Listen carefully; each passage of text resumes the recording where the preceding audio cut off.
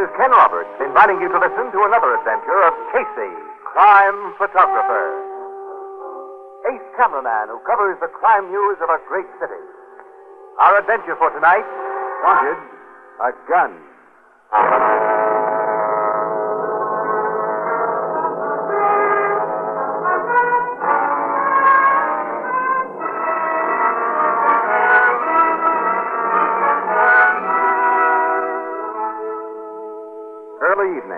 A dingy little neighborhood pet shop.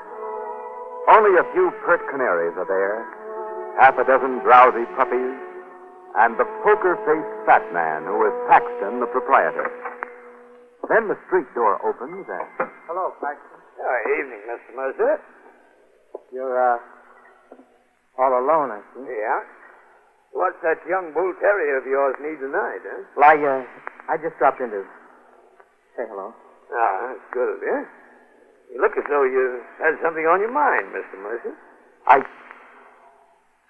Paxton, I want a gun. A gun? I've been told you can get me one. I sell pet supplies, not guns. Whoever told you I got a phone call today from a man who said you. you knew the right people. He wouldn't give me his name, but he was obviously somebody who knows the spot I'm in. As you must know it, you hear all the neighborhood gossip. Oh, I know Jeff Robbins gets out of city jail tomorrow after serving 60 days for throwing a punch at his wife because of you. I had nothing to do with her. Robbins is just a jealous fool. But you figure Robbins will come out of jail pretty sore at both of you. He's threatened both of us, and I need a gun to protect myself. How about her? Well, she'll be with friends he doesn't know about, but I can't disappear like that. I've got to be at my job. Now, I don't want to go to the police for protection. I see. Will you get me a gun? Well, if I don't, you'll try to get it from somebody else. Yes. Well, Mr. Mercer, then I may as well get you a business. And I won't be too hard on your pocketbook. A good handgun, fully loaded, will cost you only 75 bucks. 75. Under the counter prices usually run from 200 up. Guess you don't know much about guns. No, I. No, I don't. I've got 75 on me. Give me the gun. Why, hey, I don't keep those things in stock. You get your rod tomorrow. That's Wednesday. You come to the back door of my shop for it at 6 tomorrow night. But Robbins will be released long before that. Well, he'll have a few things to do besides looking for you. He's half owner of the business, for one thing, and will want to know how his partner's been running it. Besides, you know, Mr. Mercer, 60 days in jail can take the fight out of a fella. All right. I'll be at your back door for that gun at 6 tomorrow night.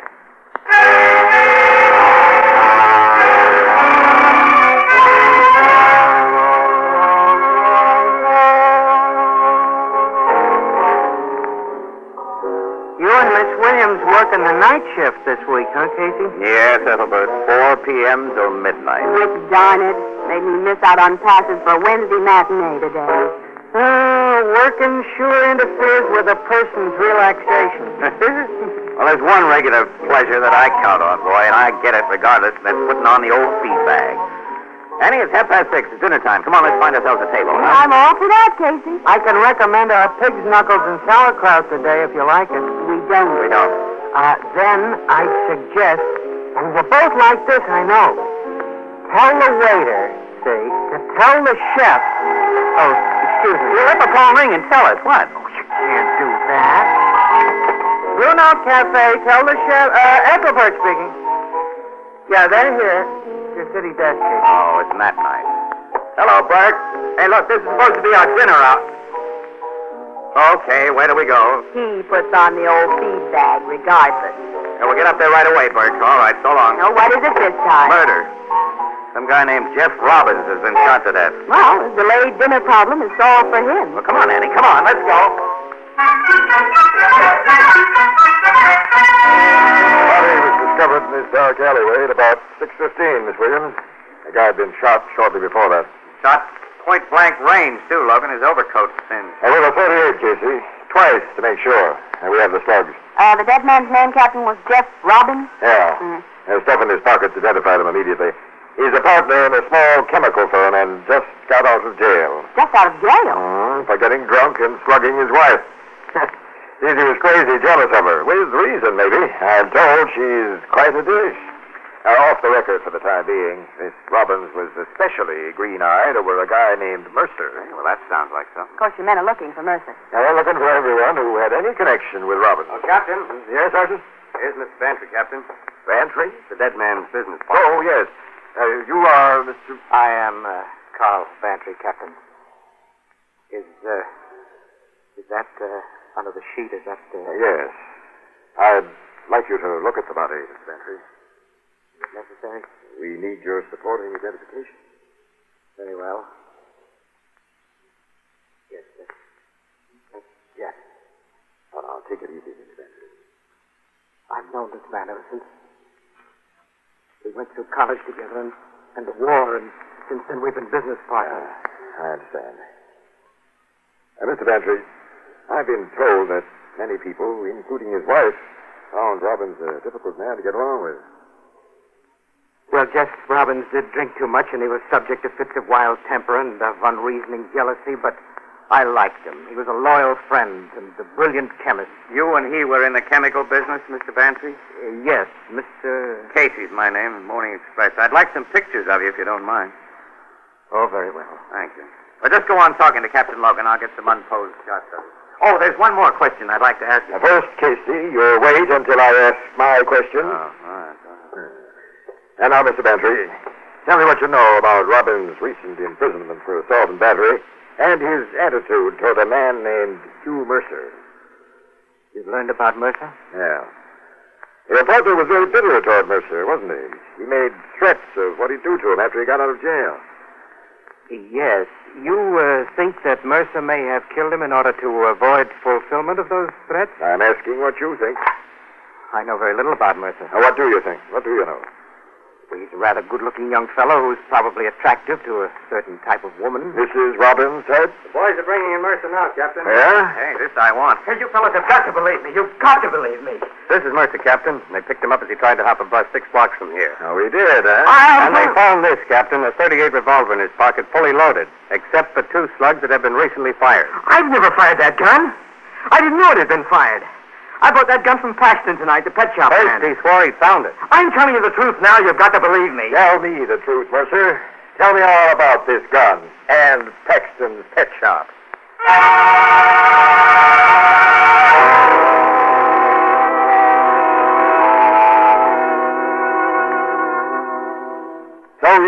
You a bit, Paxton, that Hugh Mercer came to your pet shop last uh, night and... Yes, Captain. His statements about last night, as you've just read them to me, are substantially true. But his continued statement, in which he claims that he received a gun from me tonight, is altogether untrue. You deny that Mercer came to the back door of your shop at 6 tonight and paid you $75 in exchange for a loaded 38 revolver? Of course. Now, look, Captain, I've been in business at the same address for nearly eight years. The neighborhood cops know me well. I definitely do not keep guns at my place or sell guns. Somebody told Mercer that you did. Well, we have only his word for that, Mr. Casey. Why should he have propositioned you? If that part of his story isn't true. Well, frankly, I think it is true. I figure somebody told him he could buy a gun from me as a joke. I suppose you want us to believe that you strung along the joke with no idea of providing him with a gun. Well, I strung him along because by letting him think I'd get him an illegal gun and cheap, I figured he wouldn't shop elsewhere. And then, if he'd come to my place tonight, I intended to talk him out of the gun idea. If that failed, uh, well, I meant to notify the cops. Why didn't you notify the cops first? He'd have denied anything I said, and I prefer to keep out of other people's business. Uh, because you delayed, Robbins was killed tonight by Mercer. You sure Mercer did the job? Uh, the murder bullets were fired from the gun that was found on him. Oh, I see. Paxton, you knew Robbins, didn't you? Well, he came into my place occasionally to buy bird seed for a pair of finches I sold his wife several years ago. You know Mrs. Robbins better. Uh, she's been in my shop more often. Uh, we understand she's a fine-looking gal. Understand? You haven't seen her yet? She was a little hard to locate, but she's being brought here to headquarters now. Oh, I see. Now, that'll be all for now, Paxton. Go home. Don't discuss our conversations with anyone. And be back here at headquarters at 10 tomorrow morning. Oh, I'll be here, Captain. Good night. Good night. Hello, Logan? You that guy's in the clear so clean you just let him walk away? Anyone with his excess blubber won't walk too far, Casey. And he tells a straight, believable story. I mean, he was ready with a lot of good answers. Well, you don't think he's on the level, Casey? Mm, You know, this Mercer was a perfect sitting duck for a frame-up. He was scared of Robbins' threats, and a lot of people knew it. Paxton might have slipped him that gun, as Mercer claims, after it had been used to bump off Robbins. Well, that'd mean Paxton bumped off Robinson. Where's his motive? Well, don't forget, there's a good-looking dame in this picture, Logan. You mean Paxton might be gone and Mrs. Robbins so gone he'd knock off her husband and frame her boyfriend? Well, that sort of thing has happened. Oh, you'll never sell that overstuffed bird seller to me as a guy who'd kill for love. No, to me either. Mm, well, I'm afraid I agree with you, as a matter of fact. Paxton might take a big chance for big dough, but not for a dame. Mercer did the killing, Casey. Yeah, I guess so. Come in. Mrs. Robbins is here, Captain. This I want to see. You found her at a party, Sergeant?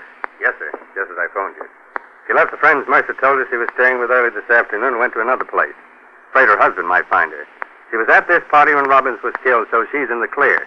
Yeah, I figured that since we got Mercer and his gun. Sergeant, do you consider her the heartbreaker we've heard described? Oh, yeah. And she uses beautiful perfume. Perfume. Uh, you'll notice it yourself, Captain. Uh, bring her in. Uh, yes, sir. Beautiful perfume. Some of these cops are yours, Logan. The captain's ready for you, Mrs. Robbins. Thank you. Captain, Uh, oh. I'm Captain Logan, Mrs. Robbins. how do you do? Hey, she is good looking. So are gold-plated dumbbells. She doesn't make me think of a dumbbell.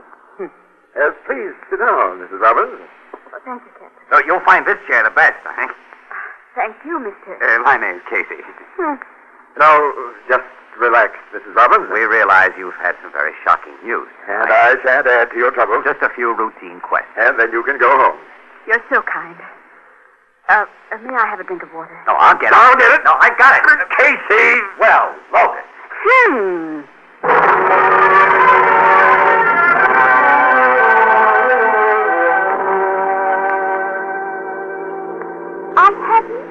Witnessed such a juvenile exhibition as you and Captain Logan put on, Casey. Like, like a pair of freshman wolves. Hmm. We didn't do anything of the kind, Ann, and I'm tired of hearing you nag, too. Now just pipe down so I can watch my driving and try to think. I, I... I'm sorry, kid. It's okay. I have been catty. But would you mind giving me a good explanation of why you and Logan treated her so tenderly? She was scared. Logan and I tried to relax her, that's all. Well, even you must admit she loosened up and talked freely before we let her go. She didn't tell you anything about her husband's murder. I think she told us all she knew. I don't. For my money, she put Mercer up to killing her husband. I'm not too sure Mercer did kill her husband. Casey, he was found with the murder gun. I want to learn a lot more about that murder gun. For just that purpose, I'm driving to Paxton's apartment next to his pet shop just as soon as I drop you off at your place. You're driving to Paxton? Mm-hmm. My surprise visit might catch him off guard. I'll go to Paxton's with you. What? And nag me all the way? Oh, no, you won't. Oh. I'll promise not to say another word about your treatment of Mrs. Robbins. I'll even agree that she's beautiful, brainy, and uses fine perfume. Yeah? I can't ask all that. Just keep an open mind, kid, about her and Mercer and Paxton.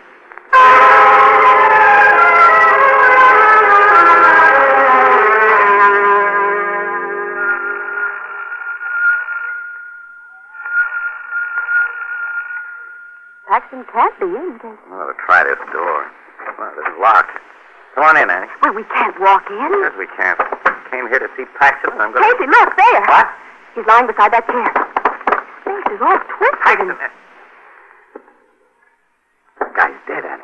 and now those burns around his He's mouth. been poisoned. He... It's a corrosive acid poison. I can smell it. Hmm. So can I now.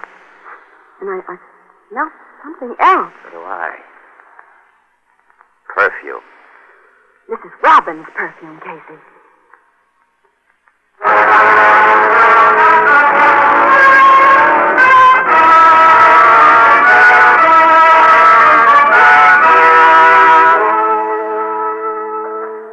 Casey, with the scent of a very distinctive perfume floating in the air of this room, am I still supposed to keep an open mind about the fascinating Mrs. Robbins? But why should she have killed Paxton? Well, like Mercer, Paxton was in love with that woman. And she used both him and Mercer to rid herself of a jealous, brutal husband. Both Mercer and Paxton? Yes.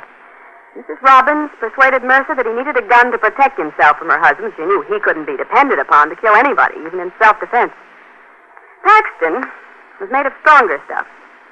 Last night, at her urging, Paxton got Mercer to come to him for a gun by means of that mysterious phone call. Uh-huh. And tonight, Paxton shot Robbins a short time before Mercer was to call for the gun, and then gave him the murder weapon for the cops to find on him. Well, then you figure Mrs. Robbins wanted Paxton, her accomplice, out of the way. Yes. She came here as soon as she was released by Captain Logan. Suggested that Paxton set out highballs, and there are two empty glasses on this table, Casey, and spiked his drink with poison. Uh, it's a good theory, Annie, but... Uh... Casey? Huh? Something in this dead man's hand, something that looks like Let me see it. Yes. It's a piece.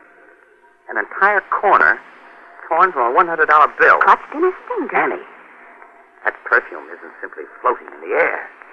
This piece of a $100 bill is soaked with it. Smell it. Yes. Because she had it in her purse. She paid Paxton money for the murder of her husband, Casey, and then killed him to get the money back. And as he was dying, she tore it from his hand. The way it looks, kid. Well, Now, wait a minute. We won't bring in the cops on this yet. We're calling on Mrs. Robbins first, and right now.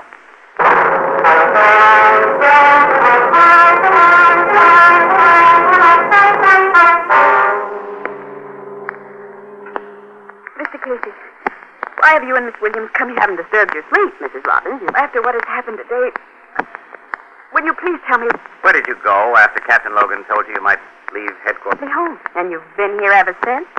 Yes. You didn't go to Paxton's pet shop. I know. Why should I? Well, the point is, did you? Certainly not. Paxton has been. Now, wait a minute. Hmm?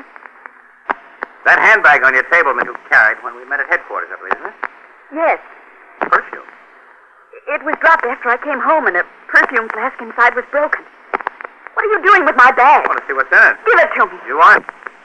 Not only break a flask of perfume in your bag, but you leave a wad of $100 bills in it with a torn off corner. It fits perfectly. Well, that's what you two are talking about. And I don't know where all that money came from. Some change in my bag. If I'd come home alone. If you. You're. You killed Paxton. Tell how you contrived your husband. Oh, the police won't think Now, wait a so. minute, Ann. Wait. Wait. Yes.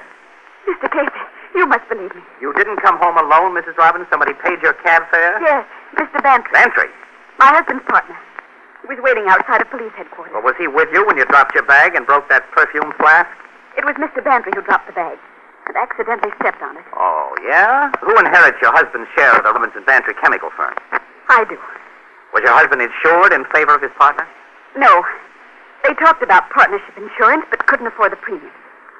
They planned to take it out after the formula was perfected and sold. The formula. It was something they've been very excited about. A secret chemical process that will improve the quality of cheap thin plastic. Jeff said it would make us rich. Has Bantry discussed this formula with you? No. He knows how ignorant I am about such things. Mrs. Robbins, I want you to phone Bantry and ask him to come here right away. Come here at this hour? Yeah, I've got an idea he's still awake, waiting for news about you rather than from you. Now, if you were to tell him you've learned something about that formula, that it's uh, that it's been sold, for instance. Mr. Casey. Now, never mind. Wait a minute. I'll dope out a complete plan of action for you by the time he can get here. And then, I want you to offer him a drink. But why? We'll be here, out of sight. Casey. Annie, I'm playing a hunch.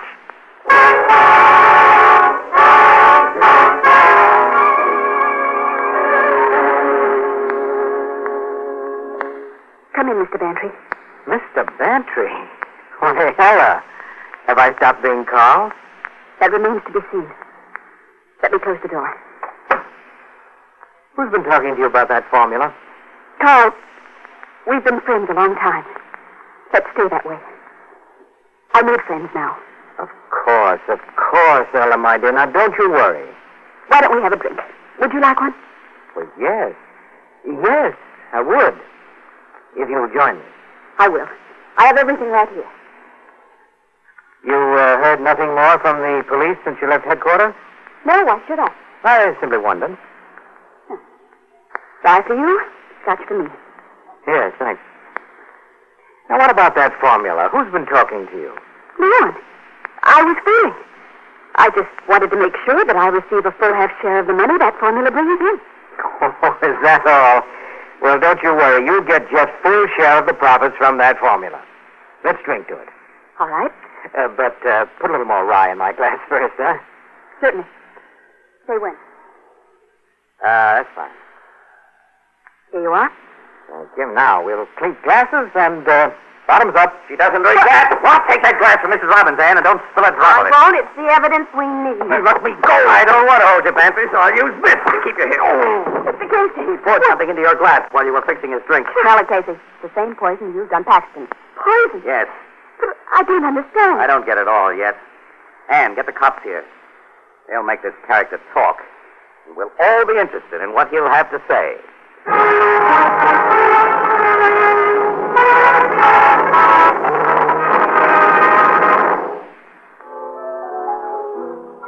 Did Bantry confess to the cops, Casey? Well, we have the full story now, and you can read it in the Morning Express, Ethelbert. I don't want to wait to read it. Well, okay, impatience, then I'll tell you. That formula, a process to toughen cheap plastics, was perfected during Robbins' stretch in jail. And it can be sold for at least 100 grand.